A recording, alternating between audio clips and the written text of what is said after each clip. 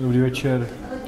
Tak já si myslím, že jsme e, do, toho zápasu vstoupili, jak jsme si představovali.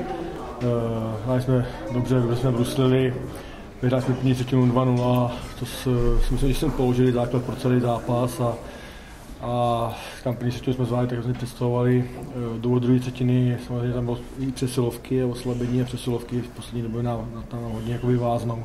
Myslím že tam nepomůžeme v tom zápase do toho výsledku a jsme se dostávali dolů a, a si myslím, že začal soupeř uh, hrát velmi dobře a poslední třetinu si myslím, že, že si myslím, že soupeř měl víc, víc, víc šancí prostě vyložených, než nás přestřílel a hrál velmi dobře a já si myslím, že ten zápas potom tu poslední třetinu uhráli, srdcem a, a bojovností a obětovostí hráčů. A to, to je samozřejmě děkuju a, a jsme samozřejmě rádi, že máme tři body, že jsme splnili nějaký cíl, který jsme si dali před zápasem, vyhrát ten zápas za tři body, ale, ale máme tam samozřejmě úseky zápasu, kde se musíme zlepšit.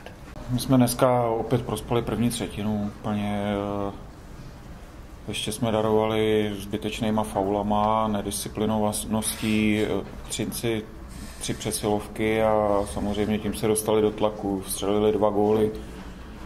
My jsme neměli pohyb a, a tam jsme zaostávali opravdu hodně. Od druhé třetiny se to zlepšilo, tam si myslím, že se ta hra trošku vyrovnala. Ve třetí třetině jsme byli lepší, bohužel ten vyrovnávací gól se nám střelit nepovedlo a, a můžeme gratulovat jenom Třinci ke třem bodům.